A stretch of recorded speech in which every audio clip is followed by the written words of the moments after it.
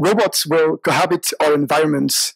And in building like an airport, a car park, or a warehouse, mobile robots can rely on wheels to locomote efficiently around on these flat terrains.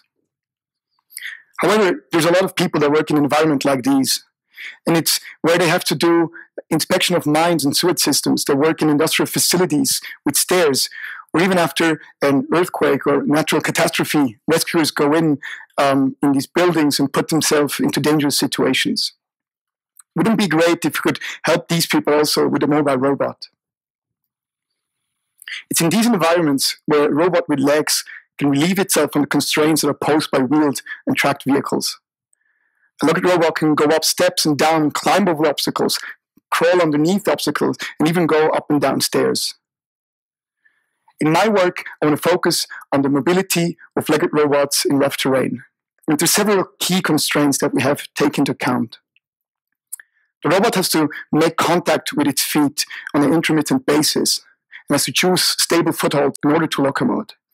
It has to make sure it doesn't collide with the environment.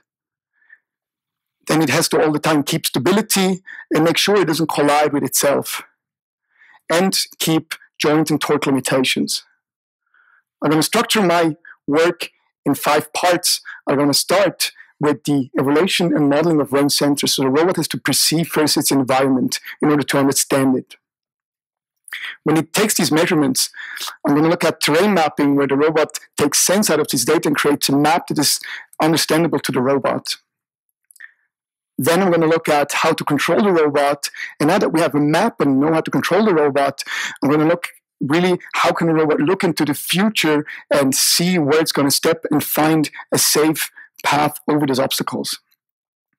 And finally, I'm going to broaden the context and look at collaborative navigation of a flying in the wheeled vehicle to improve their navigation skills. I'm going to start up with the evaluation and modeling of range sensors.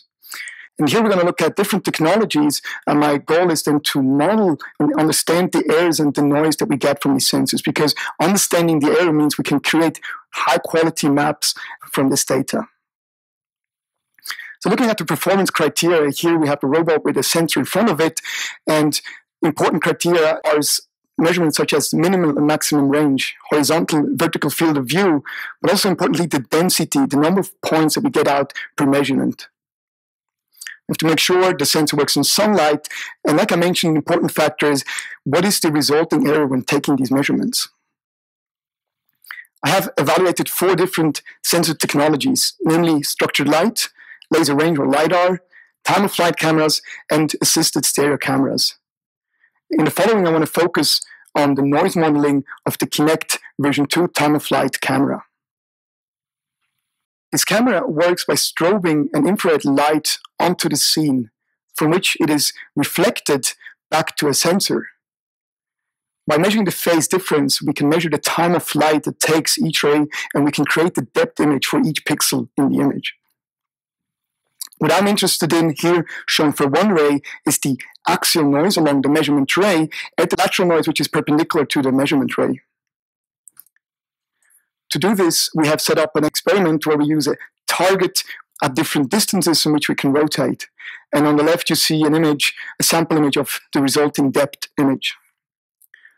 From the top view, we can use the angle theta to measure the target angle and alpha to model the sun horizontal incident angle. And in this view, you see how we measure the axial noise along the measurement ray. From the front view, we're interested in the lateral noise by looking how sharp can we recreate an edge of the target. Now, taking many measurements at different distances and angles, we get this plot uh, where we see how the noise increases over distance and over the target angle. The target angle is plotted on the horizontal axis and the noise on the vertical axis. And in colors are the different ranges where we measure that. So we came up with this um, empirical noise model, which very accurately predicts the noise at these different measurements. For the lateral noise, there's no such clear tendency, and we choose to model the noise as the 90th percentile If we go out in sunlight, we see a different behavior, where at more direct angles of the sun, we have higher noise. And we can understand this by looking at the Lambert's cosine law, which explains the light intensity as the uh, sunlight incident angle as the sunlight hits the target. And we introduce this additional term depending on the uh, sunlight angle alpha. Now we can see that the more we go outdoors from indoor, overcast, and direct sunlight, on the left hand side we see the axial noise, and on the right hand side the lateral noise. And the more we go outside, the noise and sunlight is order of magnitudes bigger than indoors. And if we compare this to all the other sensors, we see a similar behavior. And we can say that for a range that we're interested in with a walking robot from one, two, three meters, the noise is in a range where it's acceptable in order to create the map that is useful. And but we can also see that the noise deviates from very low to uh, high noise at distances such that we really need to take care of this noise in order to create the best quality maps that we can get. Looking at other measurement characteristics, this table can inform us how to select a sensor for our mobile robot and our use case. So in one example, uh, the PrimeSense, the first sensor, is really not sunlight resistant, so could not be used outdoors. Another important characteristic is the density and the rate of these sensors. We're all good, but there's one really lacking behind. And I want to explain that in the following example. Here's a top view of the robot, and you see the measurement points taken for one rotation of this LiDAR sensor. You see in the close up, it would take two seconds to cover a one by one centimeter area. And for further away points, it takes up to 22 seconds to cover every cell. This is in comparison to the uh, Intel RealSense stereo camera, where we get that many points and close up, up to two and a half thousand points per square centimeter, which probably more than we need.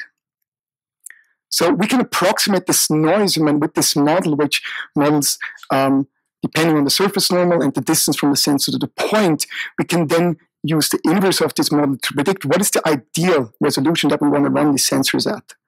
So for the RealSense, in this case, we want to lower the resolution to a resolution of 312 by 234 to cover every cell at least once with one measurement. Now that we have understand these sensors, look at terrain mapping. And here the goal is to locally create a map, online, dense representation of the terrain from these sensors. We're going to model the terrain as a 2.5D surface map to represent the terrain. And importantly, we're going to only rely on proprioceptive localization, which makes it much more robust because we don't need any absolute or external localization system. So let's imagine the robot on the terrain at times t1, and as it walks forward, it's now there. And we'd like to create the map. Now, in a classical view, sitting in the inertial frame from the outside, we know from experience and from literature that this proprioceptive sensing, which relies only on inertial and kinematic data, drifts over time in position and yawing angle.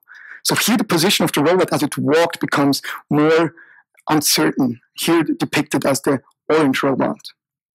Now, if we do mapping straightforward, we create inconsistencies in the map due to that, which are a problem for planning. Now, in my work, I propose to take a different approach and model the entire thing from a robot-centric perspective. Now we sit in the situation of the current time of the robot and it knows about its position exactly, but the past position of the robot becomes more uncertain. And now, if you do mapping, we see that in the front, the map is very clear, but the data that the robot has not seen for a while becomes more unclear. And we have, we can introduce these covariance boundaries, the upper and lower estimates of where we expect the real terrain to be. Now, formalizing this um, in my work, I have separated work in two parts, which is the data collection and the data processing. And I'm going to go through these steps. First, we have the range measurements. And for each cell where we have a measurement, we have to transform that to a height, which we can do straightforward from the range measurement um, vector and transform it to the map frame. And then use a simple projection mapping to get the vertical height of it. And for the error, importantly, what we want is to get the error of the cell resulting from the sensor measurement covariance, which we evaluated in the part one, and from the sensor orientation covariance on roll and pitch, which we get from the legged state estimation. Now, if there's an empty cell, we can fill in this data, but if there's already data, we're going to fuse new data with the existing in the sense of a Kalman filter where we evaluate the new height as follows. And then we have also the new variance for the cell in this Kalman filter, and we can create a consistent map. Now, this is getting the laser data into the map. And in the second part, I want to introduce the areas that we get from the robot motion. And we have to transform the height variance to a full 3 by 3 covariance matrix to do that. Then we can take the robot pose uncertainty from time k to k plus 1 and get the new cell covariance out by taking the old, the previous cell covariance, and taking these robot pose covariance updates from time k to k1. And j's here the Jacobians to do the proper error propagation mapping. Now that we have this 3 by 3 covariance matrix for each cell and the height, what we really want is to get the height in the lower and upper boundary. So we have to look at each cell individually, and I'm going to explain it with the following illustration. So imagine this is a profile cut from an obstacle from the terrain, and sample now one point, and we look at the error ellipsoids and create a probability density function which is weighted empirically based on the distance from this cell to the neighboring cells. Now, from this probability density function, I can integrate that up and create the cumulative density function, from which then I can sample the first and zero quantiles, and from this predict the maximum and the minimum height expected to be at this position. Now I did this for one cell, and if I do this for the entire map, I can create this confidence bound. Now, the same view here in 3D, this is the original terrain on the left, and on the right, I've plotted these error ellipses from the top view. And if we go through all of these points, what we get is kind of like this smooth out terrain on the left for the estimated terrain. And here blue means that we're more certain about this sampling point, and yellow means we're less certain about it. And on the in the middle and the right, you see the upper and lower confidence bounds, which tell us here's the maximum and the minimum expected terrain to be.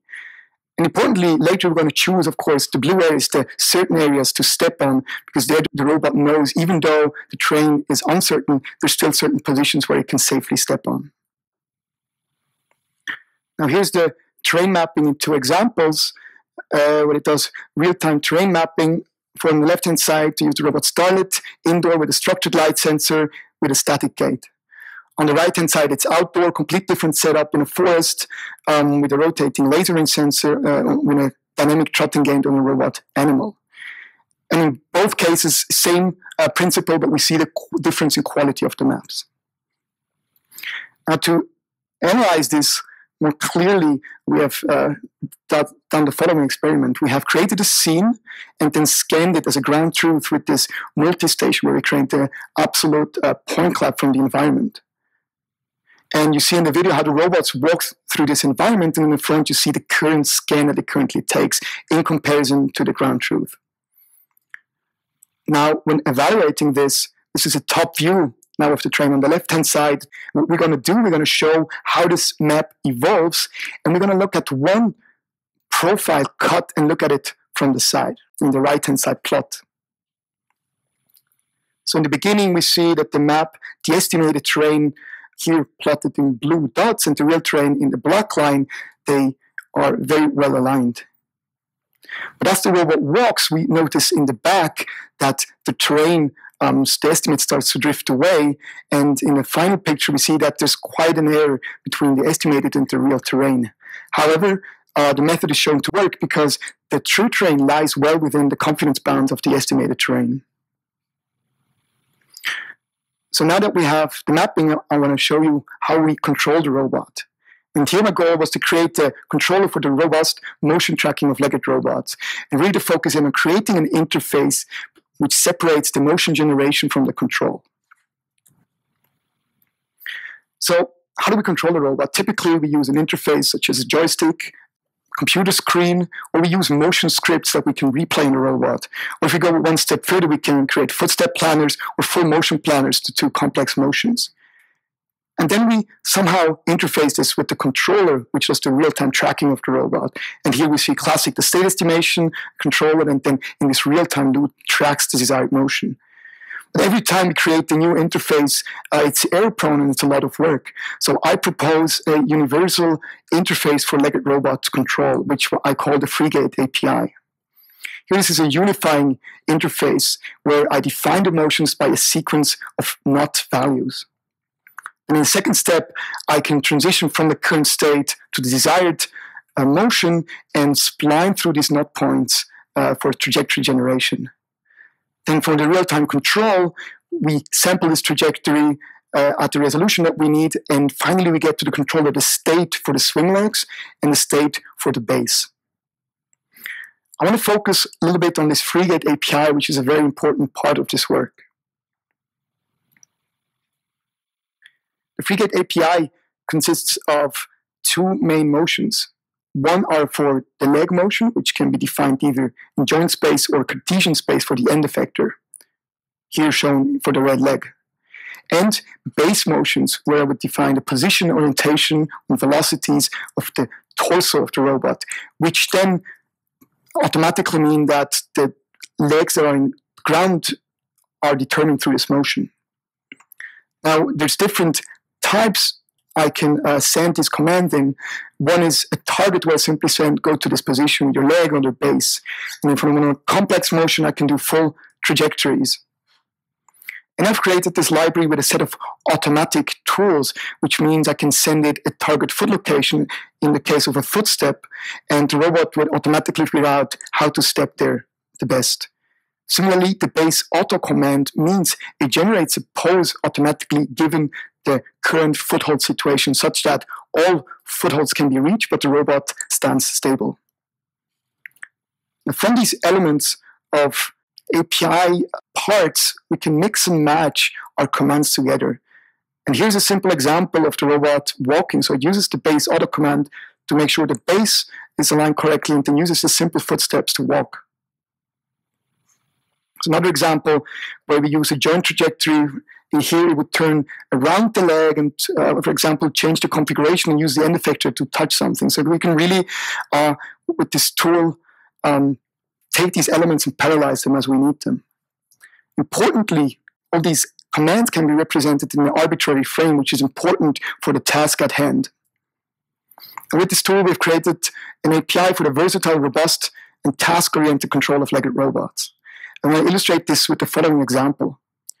Here, we ask the robot to do three-legged push-ups where one leg should stay in the air. And on the right-hand side, you see the motion script that we use to program this. So first, we use the base auto command to move the base to stable position. Then we tell it the right front leg should move uh, to 20 centimeter height in the footprint frame, which is defined between the legs. Then we simply ask with the base auto command to move your base to a height of 38 centimeters by keeping the leg at the same position. And then this motion um, of adapting the position occurs automatically. We move the base up and down here to 45 centimeters and then lift it again down in a straight profile type to the ground. So with these 35 lines of codes, I've already programmed the robot to do this complex motion through this API. Now, when working in real environments, it's important that I can track the robot's motion with respect to the environment accurately. Now, to show this, we've pre-programmed a sequence of footsteps, here shown as blue dots on the ground, in the world frame. And the robot is localized with respect to the world frame with the scan matching with the laser. And we're going to start multiple runs from different positions and show the result we can see that after one step already, the robot steps onto the desired locations. And when repeating this from different positions, we can see that the motion converges very quickly. And even it's hard to see, but the that pushes the robot, or later we use a pipe on the ground to diverge from the desired footsteps, um, so the motion can be tracked robustly even under disturbances.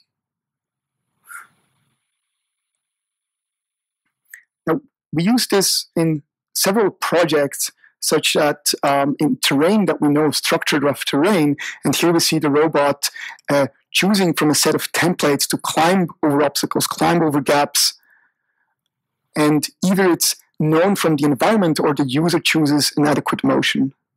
Here we rotate the legs to go over big obstacles. And finally, we can also climb very steep industrial stairs, which are steeper than 45 degrees. Now, since this is so flexible, we can go ahead and, for example, change the height to make the robot crawl. Or by changing its leg configuration to the spider-like, we can really go into pipes and uh, use this motion, the flexibility of the robots to achieve these maneuvers. Going one step further, we can do simple manipulation. And here we see the robot pressing a button of the elevator.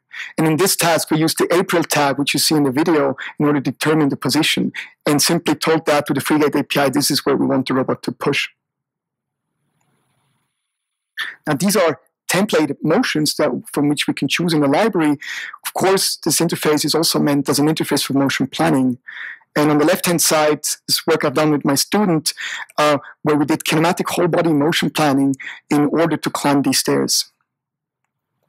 We can also do highly dynamic maneuvers on the right-hand side, where we see the robot jumping and rearing.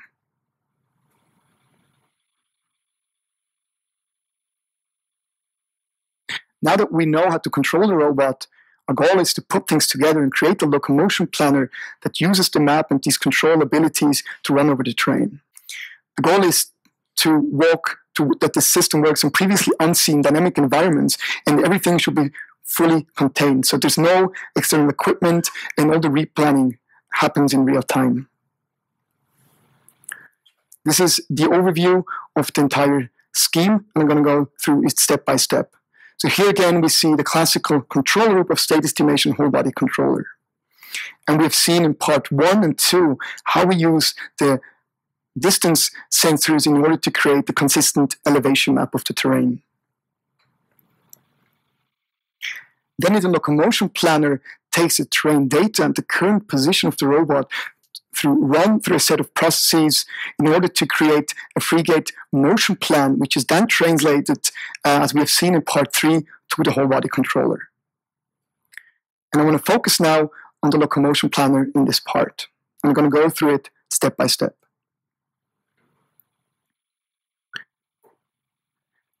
So when we get the elevation map, we can process it and check for every patch and figure out, for example, the surface normal, which will be important later.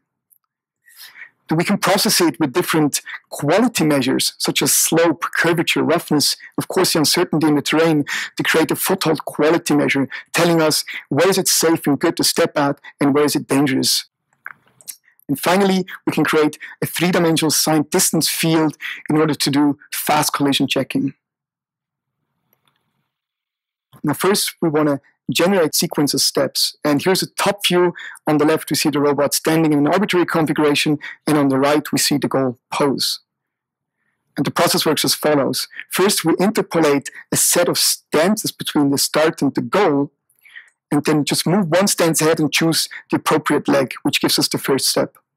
In the next step, we do the same thing over again, interpolate, choose the next stance, and choose the second step. Now, if we do this, we can start, of course, from any configuration, which is nice. But also, since we do recomputation at every time, this motion converges to a skew between the left and the right legs, which is important for stability and speed during locomotion. And also because we do recomputation every time, it's robust against deviation from the original plan. And finally, it's nice is motion generation always ends up in a squared position of the robot. Now imagine the robot stands in, in front of this gap and the nominal foothold tells it to stand right there in the gap. So now our goal is to adjust these footsteps in order to uh, find a safe locomotion over the terrain. So we sample in a search radius all the candidates and we can categorize them. First, we have train, we have footsteps candidate which are invalid from the terrain but would be actually reachable by the robot, like here the yellow ones. Or down there we have valid blue areas which are fine to step at but are not reachable by the robot. And finally, we have positions which are both valid from a terrain and kinematics point of view. And we choose the closest point to the nominal as a adjusted foothold. Now we have checked this kinematic reachability, but how do we do this? This is done in the so-called pose optimizer, where its task is given n foot locations to find the robot's base position and orientation. That maximizes the reachability and stability. So in the image, uh, the goal is really given those red dots at the feet to find the robot pose position and orientation such that the legs can be reached and the robot is still stable. And we can formalize it as a nonlinear optimization problem, where in the cost function, penalize the deviation of the current setup from, to a default kinematic configuration as shown here, the difference between the foot and the foot in the default configuration. And then we can increase the stability by penalizing the center of mass deviation from the centroid of the support polygon, as shown in the support polygon with green dot.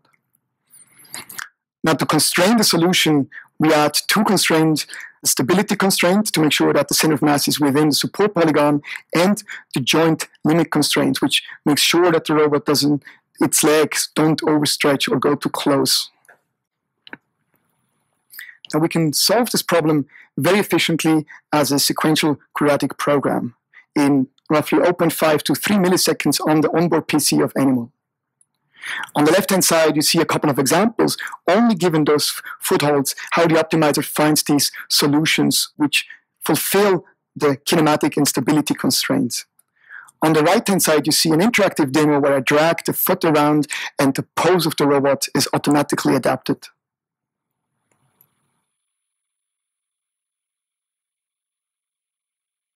Now that we have the adjusted foothold, or in the last step, the goal is to connect the start and the target location with the shortest collision-free swing trajectory. And since we have parameterized our swing trajectory as a spline, we can optimize over these knot points. And we do this in a minimization problem where the goal is to minimize the path lengths while making sure we don't run into collision with help of a collision function which is based on the signed distance field that we generated from the elevation map. And here we use this term to normalize it uh, through these collision fields. Now, here's an example where we have the terrain from the side and the robot standing on it, and we have a terrain with a low confidence bound. So typically, and then the signed distance field, which tells us how close we are to the obstacle. And then a typical solution in this case would be that the robot smoothly goes over the terrain but is collision free. Now imagine we don't know that well of the terrain and the confidence bound is much higher, for example, for a hind leg. Then the collision field is bigger and the solution um, gives us a much steeper path trajectory of this swing leg, which is nice in an uncertain area where the robot would step much more carefully from top down in order to make sure it doesn't collide with the environment.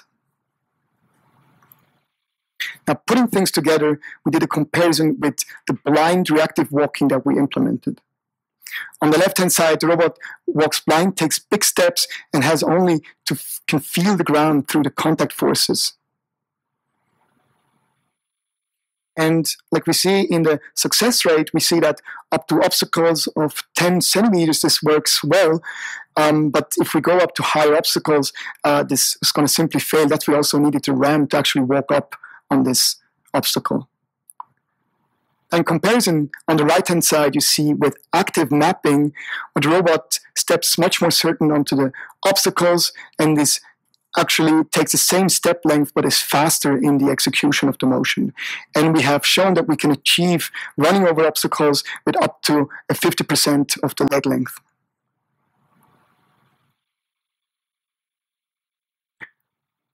Now, in a little bit more complex scenario, we see here the robot walking over stairs, but we don't tell the robot that these are stairs. This is just an arbitrary terrain for the robot. And here we use the stereo camera in front of the robot in order to create this elevation map. And you see in blue are the areas which are valid to step on, and white ones, the ones which are not. We clearly see that the map is not perfect. However, our framework can robustly track this motion. We're going to see in a second how the hind legs slip.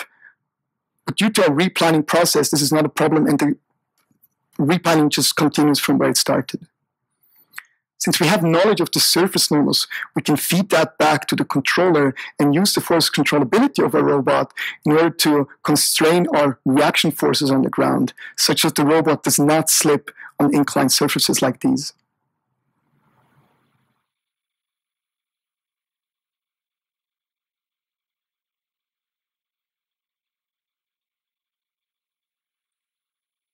The reactiveness of our approach is shown here, where we throw stones in front of it, and we see in the map up there how quickly the, the entire process reacts. And since the replanning happens, it can walk safely over these obstacles that have been uh, thrown in front of it. Here we show the robustness by pull, pushing and pulling the robot or changing the plate where it's standing on. And here it uses localization in order to navigate to a global goal in the room. And although we strongly disturbed it, the robot, the robot finds, generates the sequence to the goal location. And finally, this is to showcase the robustness of the approach where we walk over moving obstacles, over person, um, a soft body, or even in a very narrow path. So this is, framework is really shown to be flexible in all of these environments and tasks. So now we have a robot walking over rough terrain. I want to expand a little bit and show how we uh, did the work with the collaborative navigation of a flying and a walking robot. And here it's about to use their different abilities to create a, a bigger framework. The motivation is that from a flying viewpoint, I can very quickly, the robot can see the terrain from up top and fly very uh, fast around. However, it has limited sensing and payload capabilities and a limited operation time. On the other hand, I have a walking robot which has a rather low viewpoint and is compared to the flying vehicle rather slow. However, it can carry high payload and sensing and has an operation time which is much higher than the flying vehicle. Now, this is the overview of the approach, and I'm not going to go into the details, but I'd rather demonstrate the complexity that has gone into this work with many of my co-authors. So it's really all these technologies, bringing them together, and I'm going to show you the demonstration that resulted um, from this work. So here the goal was to go from a start location to a target location where there's only one possible path and there's obstacles in between. So first we let the flying robot explore the environment and we see in the left bottom corner it creates a set of visual features which are then added in a simultaneous localization and mapping framework to consistent map. We, we can use the camera images to create with our elevation mapping framework a dense representation of the entire terrain. As these two maps are then transferred to the walking robot, which interprets them. So here it looks at the traversability and then finds a global path from the start to the goal location. Then it starts tracking this, and while it goes, it uses another camera image which is on the robot to localize itself within the map that was created by the flying vehicle. We can see here how it matches those visual features from the current viewpoint in the global map. It updates the map continuously and we're thrown an obstacle in front of it while walking. And since it updates, it replans the motion such that it can adapt to a changing environment. And then make it safely from the start position with help of the flying vehicle to the goal location.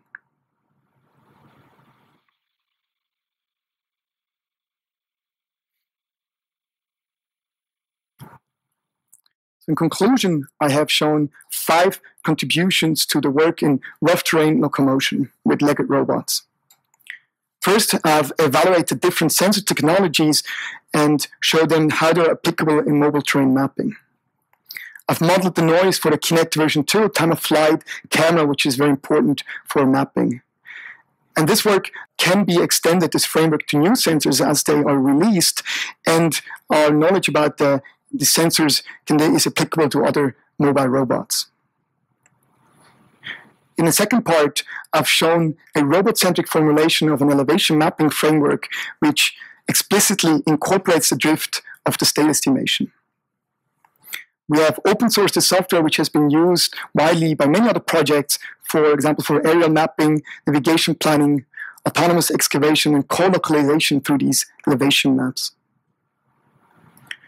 For Legged Control, I've shown a framework for the versatile, robust, and task-oriented control of legged robots.